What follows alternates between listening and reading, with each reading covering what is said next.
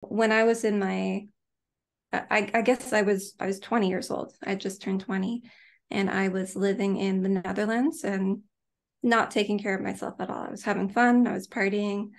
I was not thinking about my future. I was just I knew I was going to go learn Mandarin and teach English in Taiwan. Mm-hmm. That that's as that's the extent of my goals at the time. And by the end of that year, I I had a flu that never went away, um, a, this low grade fever. My face turned purple every time I'd wake up. My face was purple, like a blueberry, and sometimes my whole chest. And I had welts in my throat, and things just started to deteriorate really quickly. So I came back to Canada. I did all sorts of tests. Um, I was tested for HIV multiple times because they're just like this one white blood cell, your CD57, it's very low. That's basically a, a symptom of a, HIV or Lyme. And the Lyme test came back negative at first. So they kept testing me for this. And I had inconclusive lupus, MS, ALS, trying to diagnose me with all these different things because I had all these symptoms. And it just got worse and worse over the next two years. So for two years, I didn't know what was going on. And it, was to the point where I moved back in with my folks after university and I was bedridden. There was at least a week in there where going to the bathroom was hard. But other than that, I just laid in bed. My digestive system, I don't know what happened. It just stopped working. And um, and it was actually so difficult to eat that I stopped eating and I started a juice fast and gained weight from that because that was more calories than I was getting.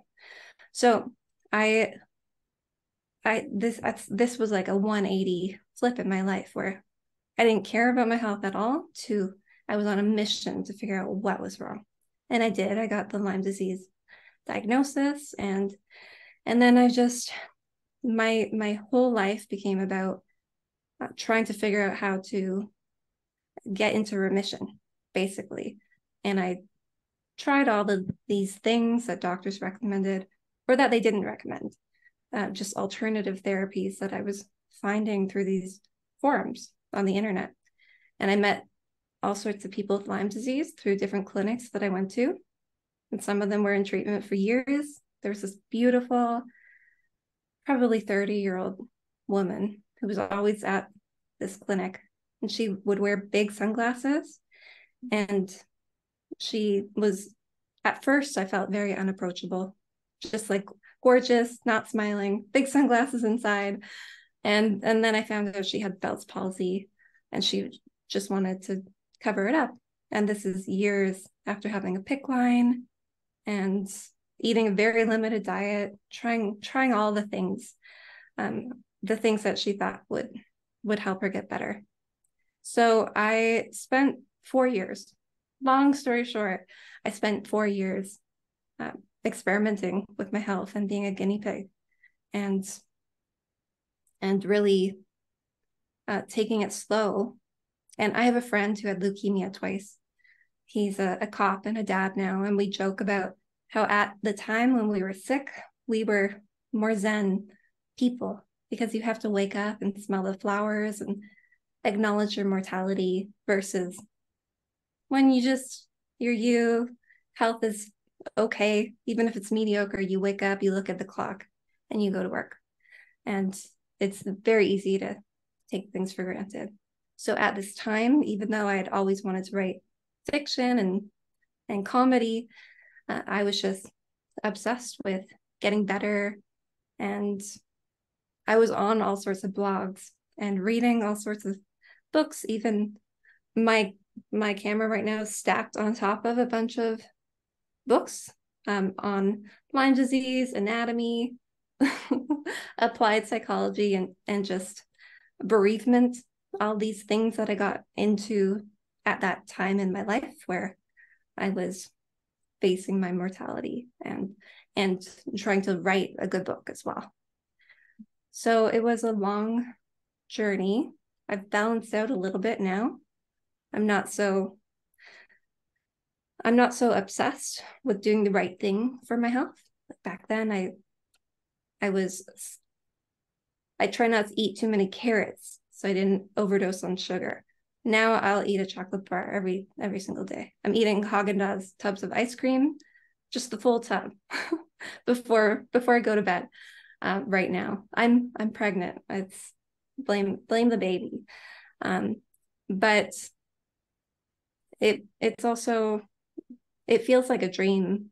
Honestly, like talking about it now, um, it's good to talk about because it's been so long, but it's because it's been so long, it, it just feels like I was a, a different person and makes me feel really old because life is long and and so much has happened since then. It's it's an incredible story, Jess, because you you were fighting Lyme disease before people really knew what it was. And um at what like what was your trigger point? Like you you were on this health journey. When did you think oh my gosh i have to write a book like when did the blogging turn into a book? It was probably three years in three years into treatment when i realized that i was not just doing better but i was healthier than i had ever been. I was you know, I I, I was a party girl in university and, and high school. In elementary school, I was a pretty fat kid. I was second last in track and field without fail. Wakey, I won't say her last name, but if I could just beat Wakey, I was happy. Um, and after just being so dedicated to taking my 60 supplements a day and doing my IV treatments and and seeing all these different doctors try to figure out how to balance multiple systems. So the book's called It's Not Just Lyme because I was doing so much blood work, my reproductive health, my lymphatic system, my thyroid. I wanted everything. I was working on everything at once. Um, so what was what was the question?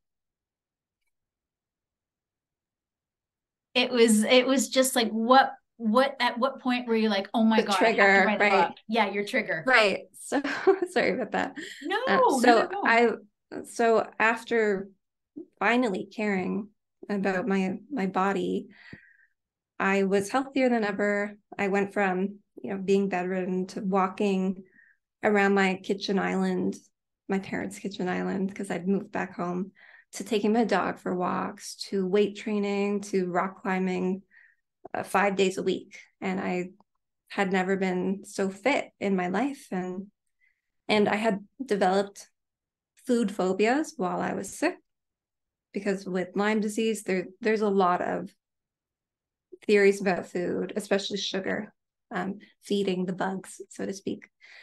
So suddenly i was more in shape. I was aggressively like weight training, rock climbing. So I needed sugar, which I loved because I, I mean, who doesn't love food and sugar um, or, or carbs? No, I wasn't just pounding re- refined sugar, but uh, just feeling healthier than I'd ever been and being surrounded by other people with Lyme disease who were at this for much longer uh, made me feel like I had something something to say because I wasn't uh, following typical advice.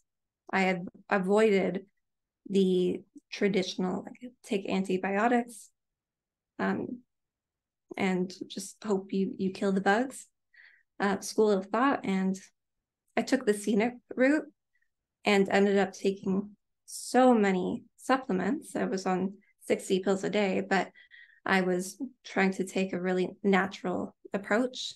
Uh, food was important to me, sleep, laughter, and sun, like very simple things. Um, so I wanted to to talk about that uh, because there's there's so many aggressive treatments for Lyme disease and so much fear with food and with taking the wrong steps and with not taking antibiotics fast enough.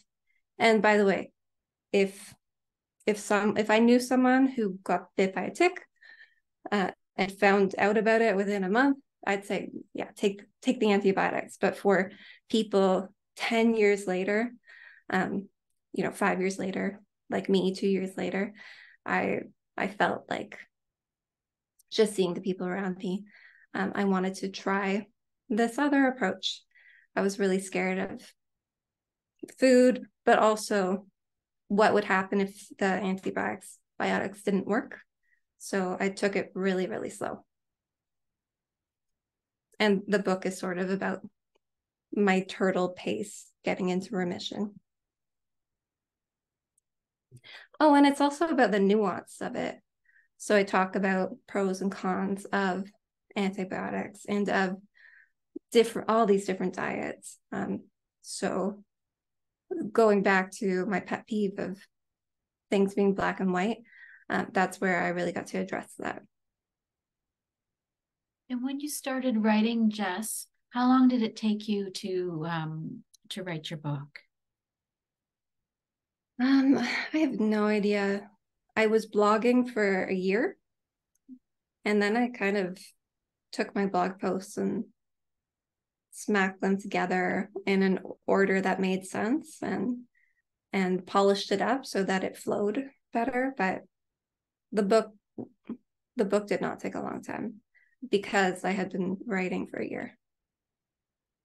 Probably 3 months from you know from the time i put it together got it edited not by like a professional like like you but um, but I think I had a light copy, line edits, and proofread before publication. Yeah. And just can you walk us through, because I know that the editors group is interested, your decision of uh, who you went with to get published and what process you went through? Um, I didn't think much about this back then, and I'm not sure if I'd make the same decision now but I just went with Amazon and self published. And my logic for that was that I was building a brand and that my priority was marketing and building an audience. So my email list was really important to me. Um, I did not realize how important collaboration would have been back then, but but I did know that building my own credibility would help the book. And that's why I started blogging long before the book uh, ever got written as well. So just indie, indie and Amazon. I did not realize how important collaboration would have been back then, but but I did know that building my own credibility would help the book. And that's why I started blogging long before the book that ever got written as well. So just indie, indie and Amazon.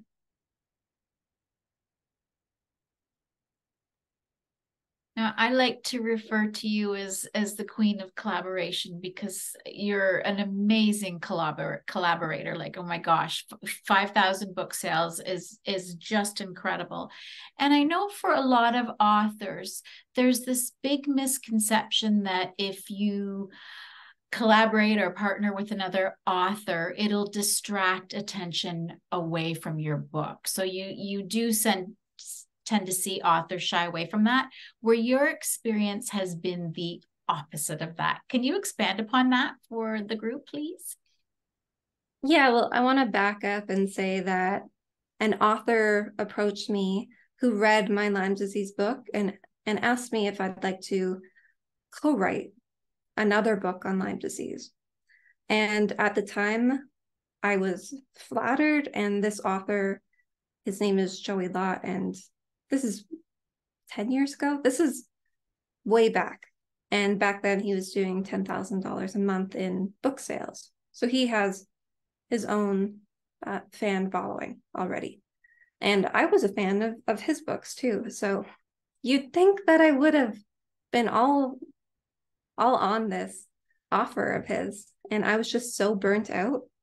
at this time because 5,000 book sales is not a lot when you factor in the time it took to build up this brand. I mean, seriously, blogging every every other day on forums, trying to get people to connect with me, uh, posting on social media, and I was so burnt out. And if you factor in my my time, my hourly wage was probably pennies, right? So I was, and I was in remission. Um, it was starting to feel like a dream, Lyme disease, and I. So there was a lot, a lot of factors, but I was burnt out from producing so much content, and I also um, was ready to walk away. I guess. So in the end, I said no to this potential collaboration, and I didn't realize how I didn't even realize that people co-wrote books back then. Um, yeah, so I, looking back, I I kind of wonder what would have happened if I uh, took on this this project with Joey. And fast forward many years later, because of the the Lyme book that led me into nerding out um, in marketing and that led me back to school. So I went to college to, to take digital marketing, ended up working as a marketer at a few agencies in Toronto. And and that led me into corporate collaborations. So my my family business is a toy store, ended up being their marketing manager. And some of our collaborations are like, let's get a Toys for Tots bin in the store. And then the local TV and radio stations want to uh, want to get in on the action too because we all serve the same audience. So we're all feeding each other's audience. So I realized in the corporate space how important collaboration is. And then in during the pandemic, I thought I'm gonna give personal branding another go, not with Lyme disease, but with something else. And I I started I really built the brand from scratch with collaborations from the beginning. So having my lead magnet ready, knowing who my target audience was, knowing who else serves that target audience, uh, making sure I qualify them by checking to see if they have a lead magnet that's not just a discovery call, but something that they can collect upwards of hundreds of emails, actually opting into the lead magnet to see if it's any good, and reaching out to these people. And I started a podcast as a nice way to create a slow burn romance with my prospective partners. And in the beginning, I was interviewing one person uh, every couple days, which is too much, I would say. That was too much for me. But I established a lot of relationships in the indie publishing space relatively quickly uh, with um, hosts of summits in the indie space or author coaches, coaches, editors, other people who serve indie authors. Those were the people I was looking for. So that made building up my email list uh, much easier this time around. It took me two years to get 500 people on my my um, Lyme disease author list, and I had uh, 5,000 people on my my author list um, by not even the end of the year. So drastic difference uh, just based on the system that I went with where collaboration was the sustainable factor in marketing versus okay let's produce tons of content fresh new content all the time to keep showing up over and over and over um, I switched over to let's build relationships with other people who have relationships with lots of people. And um, I wish I knew that back then when Joey reached out to me to co write a book. You've also had an incredible project this past January. I'm like, was it January? Your author summit? Mm-hmm. Right. Can you can you fill the group in on your author summit? Like, oh my gosh, like this this girl just has so many incredible passion projects. I'll pass it over to you, Jess, if you can fill us in. Okay. So collaboration, there's like mini collaborations, medium sized and super sized collaborations. The mini one would be cross promotions. So I have the podcast, interview a guest, most of the time uh, people when you stop recording ask like how can i return the favor? That's where i ask if they'd like to do a newsletter swap. So i promote them they promote me. Medium sized collaboration i've organized um, bundles so book bundles. Maybe some of you have heard of BookFunnel or StoryOrigin or prolific works where authors get together and easily build these landing pages where they all put their books. Uh, sometimes they're free books, like lead magnets, or sometimes they're they're just pictures of all their books that lead to different sales pages. And then the big, like the supersized collaboration would be hosting a conference or summit. And I reached out to uh, hundreds of different people in the indie author space. And in the end, I had 70, 70 collaborators involved in this big project. It was a four day event uh, called Sell Books with Collabs. So mixing my passion for collaboration with with authors and and I had 12 speakers come in who talked about collaboration uh, in different ways one of them talked about anthologies, one of them talked about StoryOrigin. So, one of those software tools where you can collaborate easily. And then we also had, and by I say we, but it's just it was just me. Um, I also had 60 other people involved who who donated a digital product or a webinar or something like that as well. And it turned out really great in the end. And all of these collaborators got commission on any sales they brought in.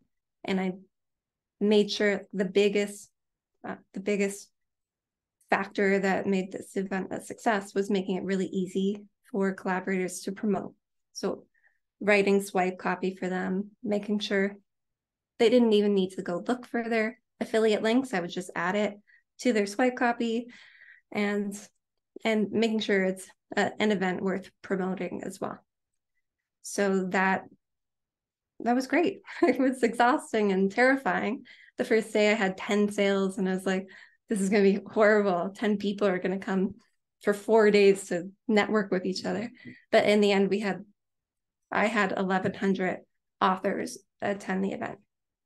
And a lot of them said it was the best summit they'd ever been to there's a lot of networking. So I made sure it was pretty fun. And it was virtual. So no pants required. Congratulations. I mean, that's amazing. That is just amazing. Um, before I ask you about your current projects, because we've talked about Lyme, um, does anyone have any questions for Jess? Oh, here comes Janet. I'm really just interested that you've written a nonfiction piece, and yet you clearly started in fiction um, as as kind of the thing that drove you to writing. But this is a really different process. Um, mm-hmm. Can you suggest like which one did you enjoy more, or or I mean, are they so totally different you can't even compare them? They're so different. Nonfiction to me is way easier, way easier to write yes, you have to do research, but fiction, you have to dig into your soul and expose everything about you. I, I so there's a fair bit of soul and exposure in here. I'm like there's some. There's there's some, but it's it's different, like fiction, and I'm exploring. I don't know. It, it's just everything. I feel like it, my my one piece of fiction is is me and all the people around me. So I'm also exposing mm. you know my grandma and my friends who I'm merging into different characters. Mm. Um, so I don't know. It I've written two other nonfiction books in the last two years. They're just lead magnets um, instead of properly published. But it took me uh, a weekend basically to write one of them because it's just my my expertise really versus my fiction which is a piece of art and every comma matters profoundly to me. It's just a, a different level of care with my fiction. I'll start just hi john. Hi. Um I was curious about this authors forum. That um, were they all sort of Canadian local writers? Uh, were they any professionals or iconic writers that are superstars that showed up, or uh, really independent uh, indie sort of writers? The summit was, I'd say, ninety percent indie indie authors, mm-hmm. but authors who are obsessed with branding and marketing. So, a lot of authors who have established email lists and audiences, uh, but not traditionally published. Oh, fascinating. I'm too old to understand. it's well, all on you, paper for me, but yeah. If you have an email list, let's say an email list that opens your emails at 20% open rates, um, compared to compared to social media where you might have even more followers but facebook there's a 0.02% engagement rate. Um, that's not even clicks right? Um, tiktok is a little better. It's 4 to 18% um, instagram is more like 2% so your email list is the most engaged audience you generally have unless you do text marketing then it's much better but but if you're collaborating with other authors who who have you know i have 5000 subscribers you have 5000 generally we both get a 20 to 40% open rate and 10% of those people will actually opt in to your thing because we have audience overlap then you have a good chance of constantly building up your audience. Every time you have a new collab partner, you can build up your audience. So I like it. It's su- sustainable marketing. Yeah. And would you would you then use uh, automated mail software like Mailchimp, uh, which would like, offer you up some analytics as well, or? Yeah, yeah. So MailChimp, MailerLite, have your lead magnet, in this case, let's say an ebook, uh, and then have an automated email sequence. Let's say you have three emails an immediate email with a thank you, here's your book, uh, followed by your story or some other gifts to anything that's going to train your audience to open your emails, not be like, okay, I'm on another list and let's throw this in the junk folder uh, as soon as possible. But uh, having something that's authentic and resonates with the type of person that you want on your list um, is and it's a nice way to use automation absolutely. And it's a nice way to get people on your list get them acquainted with you and then every week let's say or every month uh, you can have a collaboration where you're promoting someone else's book. Let's say you do a book review of their book and here's the link. Check it out. I'm not getting anything from this other than this is a cool book. I thought you should check it. They click on the link that you're promoting and then your collab buddy same thing reviews your book has the link. So you're really cross pollinating each other's audiences. And and it's also content. It's regular content for you to send your list. And typically you you don't even have to write it uh, because your collab partners will have swipe copy for you too so it's it's a nice way of building up your list while building up other other people as well.